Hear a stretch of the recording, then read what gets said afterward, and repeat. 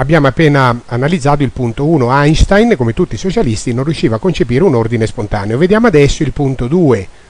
Nelle scienze sociali le sue posizioni avevano una incoerenza logica che crea un interessante contrasto con la sua coerenza logica straordinariamente rigorosa nel campo della fisica.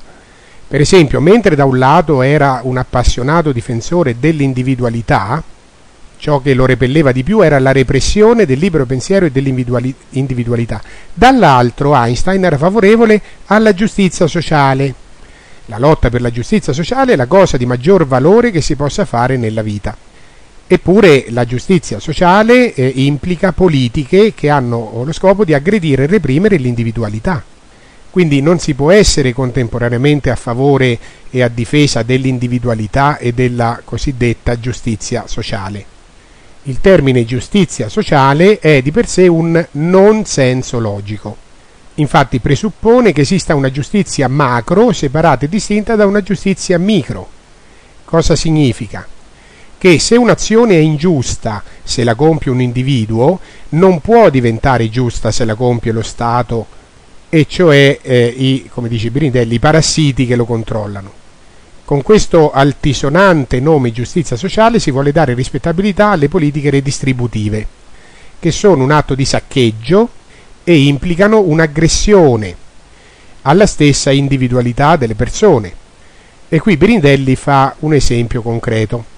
Immagina due persone, Marco e Giorgio.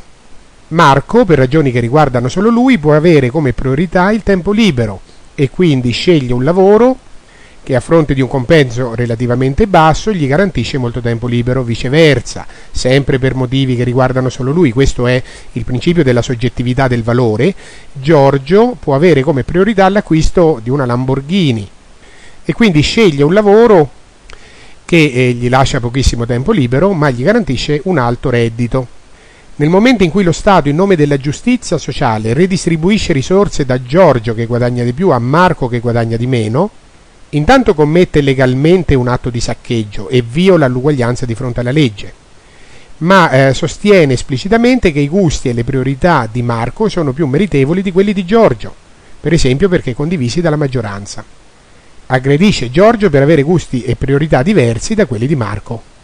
Una persona, dal suo punto di vista, può ritenere che i gusti di Giorgio siano sbagliati, quelli di Marco siano più importanti, ma in una società libera questi giudizi di valore non devono e non possono essere motivo di un'azione coercitiva, per esempio redistributiva, da parte dello Stato. Invece la posizione di Einstein, che era favorevole alla redistribuzione delle risorse, mostra il suo disprezzo per quella stessa individualità che egli difende. Mentre da un lato è convinto che nessuno abbia il diritto di imporre le proprie idee e i propri pensieri agli altri, allo stesso tempo invoca politiche che implicano l'imposizione dei gusti di chi comanda, quindi della maggioranza o del più forte e agli altri.